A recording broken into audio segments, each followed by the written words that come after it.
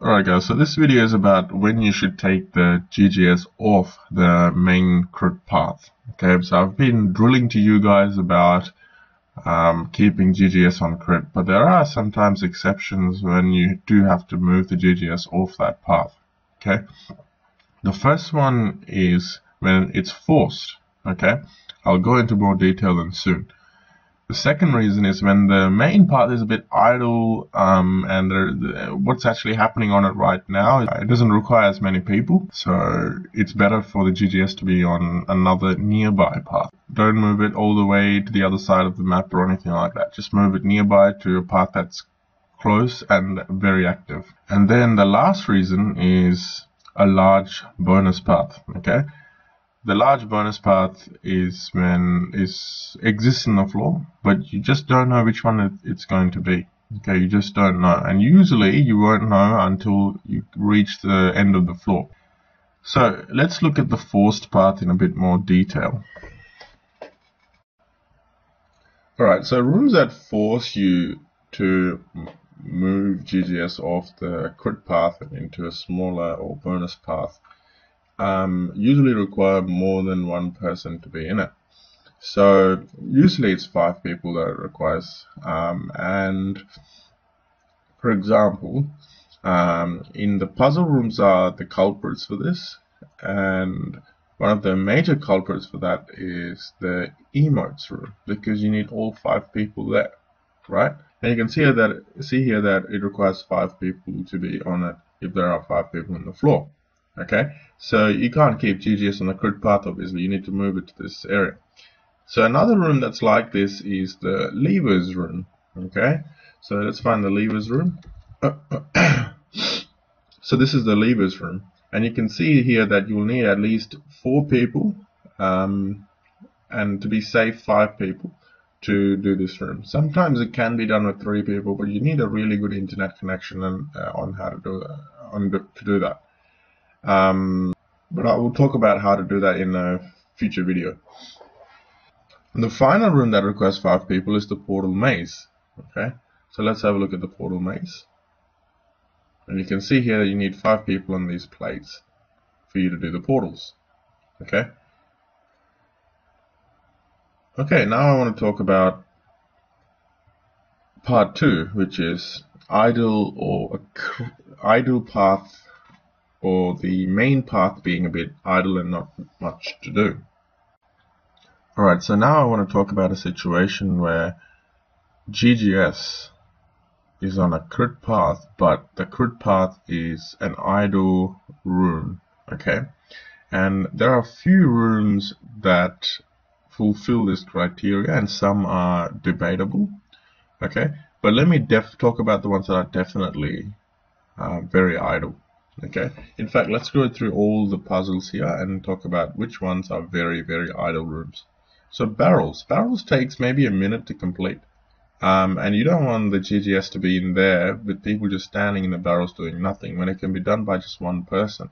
So if there's a nearby GD, it's better to have GGS there than in a barrels room, even if barrels is on the main path.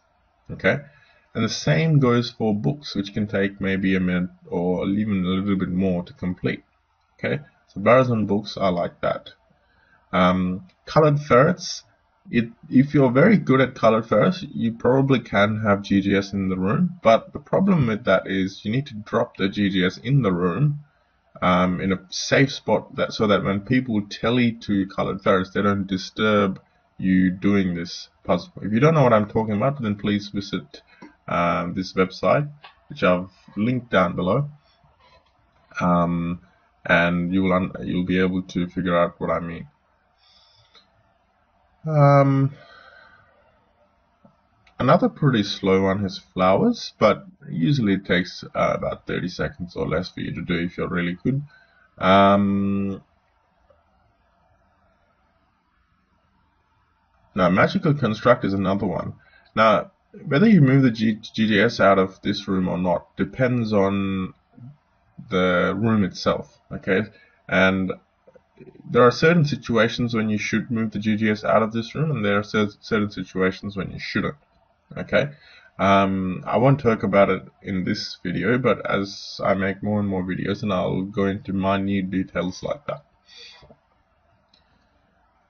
Um, monolith is a room where you don't want GGS to be because um, it again takes maybe 30 to 30 seconds to one minute to complete it, but you only need two or even one person's enough to get this room done if they're good enough. So you don't need all five people at over here at Monolith with the GGS. So you can take GGS to a smaller bonus path. Okay, there's if if that bonus path is more active and has more rooms and a GD, for example. Okay, so that's all the um, rooms that I would probably take GGS off the crit path for because they're just too idle and you just don't want too many people to be standing there. It, there's um, no point in having so many people there. Alright, so now I want to talk about the final reason for when you want to take GGS off the main crit path. Okay, so in this map, you may not be able to see it, but you can just follow my mouse and I can tell you that the crit path was roughly following my mouse, okay, from base, and then that way as well, to the boss, okay. So that's the skeleton of the map. Then you have the flesh, which is the bonus path. But in this particular map, we have reached um, boss well before the map's done. Okay, so there is all, everything else is obviously a bonus, right? If we've reached the boss. Okay, so where do you keep GGS on this instance? Right here. Okay, that's the active part, so that's where you keep it. And you just take it on the most promising path to the end. If it turns out that all of this gets done before this even gets started, then you move GGS to this spot because that's the most promising path. Okay? So this is quite typical. You actually, in about 80% of the maps, would take the GGS off the crit path on the largest bonus path that you can see. And usually this will be towards the end of the floor after you have found boss. Okay? Okay, so this is a more subtle example where you haven't found boss. Okay? But I know that this part here is actually bonus. So some other path on the map, probably that or that or that or that, or even this maybe. One of them needs to get done, and also that one as well. So there's six different options. Okay, that one of them could be crit. That's going to find let us uh, find the boss. Okay, but do you move GGS to these rooms? No, absolutely not. You keep it on the biggest path there is. Okay, it's quite obvious that this path is not just going to dead end like that while this one is going to curl, do that and curl around. Maps don't behave like that. Okay, so this one is probably going to be the largest path. So that's why GGS should be kept over here in the bonus path towards the end of the floor, even though we haven't found boss and um, there are still a few crit paths that are still maybe quite active to do, but they're too small compared to this larger bonus path.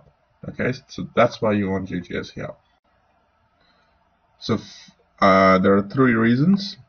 Um, forced, so emotes, portal rooms, levers rooms, etc. Idle, crit, or main path. So having a room that doesn't require as many people. So a monolith, um, books, uh, wines, barrels, and so on. I talked about it and then a large bonus path. When that bonus path turns out to be a lot bigger than the small little crit paths that are left, or if you're found boss and then you only have the large bonus path to allow the GGS to be on.